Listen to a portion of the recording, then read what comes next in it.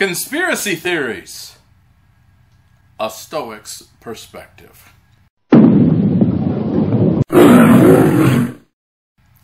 My name is Paul Gordon. I'm with State of Wake. Be sure that you like, share, comment, and above all else, subscribe to the State of Wake channel. Or if you do not, I will accuse you of orchestrating a false flag that is your existence. Your whole existence is a false flag. That's what I'm going to say. And that ties us into what this video was about, which is about conspiracy theories a Stoic's perspective. Before we get into the conspiracy theory part, I want to describe to you very briefly the core principles of Stoicism. And these are very simplistic, elemental descriptions of what Stoicism is. It's much more complex than what you're going to see here, but this is it's a good start. Essentially, Stoicism is a is an ideal that we recognize that there are so many things in our lives that we have absolutely no control over.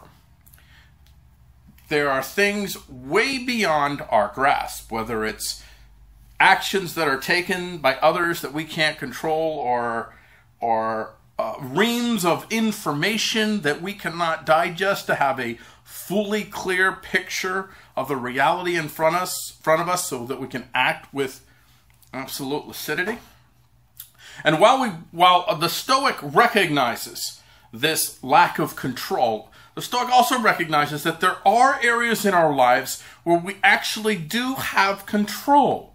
And in the areas that we have control, we strive to be excellent in how we conduct ourselves and we strive to have virtue in the way that we conduct ourselves. We, we strive to know as much as we possibly can know, especially to know about ourselves and who we really are, so that we can effectively grow as people that are able to maximize those small moments where we control the outcome.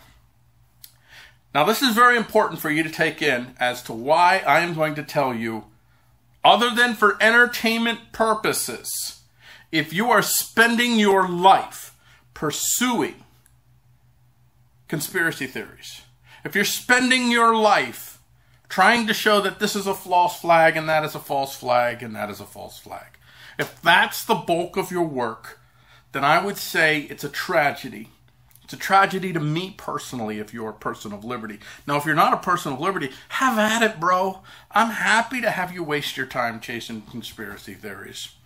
And I'm not saying that there's not a place to examine the reality, to say, you know, the was Dallas a false flag? Was Minneapolis a false flag? Was Paris a false flag? There's a place for those types of investigations. But if you do prove beyond a shadow of a doubt that those are false flags, I guarantee you nobody is going to pay attention.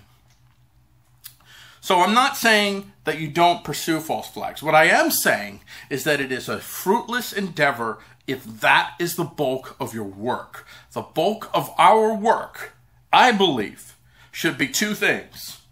Two primary things that we're working. Two primary things I believe are we spread the message of liberty with the hope of reaching as many thought leaders as we possibly can. These are the explorers, the people who are willing to go where no man has ever gone before and test liberty.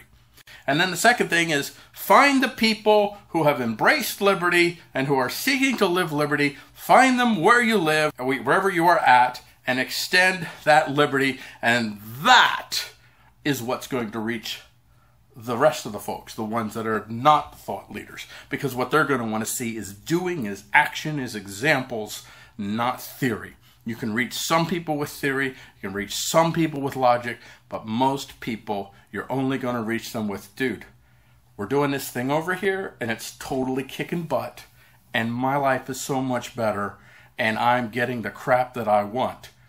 Come join us. Reach the thought leaders that are out there. And we do with the people that we reach. And when we chase conspiracy theories, we're chasing after things that are way beyond our control. There's so much disinformation out there. Information is not as valuable as standards, as principles. Live by those standards and principles, and you will be able to navigate through the reams and reams of disinformation is out there when people bombard you with quote unquote facts and figures that show why it is that we should have daddy gov. You just say principles. Sorry, principles, sorry, standards, sorry. Don't care about your studies. This is what I care about. This is what I'm acting on. And we have so many things that are beyond our control, but we have plenty of things that are within our control. And one of the biggest things that's in our control is who we associate with and how we build community right in the area where we live. So if you like this video, you be sure you like, share, comment on this video, share the poop out of it. And if you don't share this video, well, actually, I won't. I won't threaten you. I'm not a threater. I'm not a threatening person. But I'll say, if you do not subscribe to this channel, I will find out who you are, and I will make sure that every right wing, left wing blog knows that you're a false flag. That you don't exist. You're a false flag.